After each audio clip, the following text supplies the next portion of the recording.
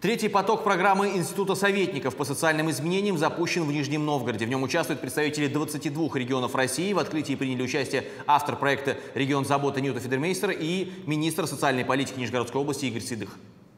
Мы, э, работая командами, начинали лучше понимать друг друга. То есть сотрудники СМИ начали понимать, как освещать социальные проблемы. Бизнес понял, в какое место нужно идти и помогать. Чиновники услышали некоммерческие организации и увидели точки соприкосновения. Мне кажется, что э, социальные изменения, они могут двигаться командами.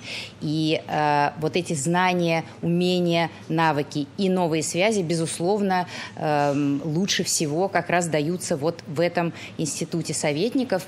Это возможность прокачать свои какие-то а, Э, качество профессиональное, дало возможность пообщаться с суперспикерами э, и развить какие-то уже свои существующие проекты, которые я смогла тиражировать и в других регионах, благодаря тому, что наладился коннект. Здорово, что у нас третий поток института советников сегодня проходит в Нижегородской области. Это позволяет обменяться практиками регионов. Э, и так вот, например, у нас недавно совсем Глеб Сергеевичем была утверждена единая модель помощи детям.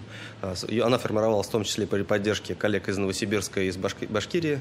А сегодня они здесь присутствуют и уже берут опыт у нас, так сказать, смотрят на то, что, как работает э, недавно разработанная концепция, какие первые шаги.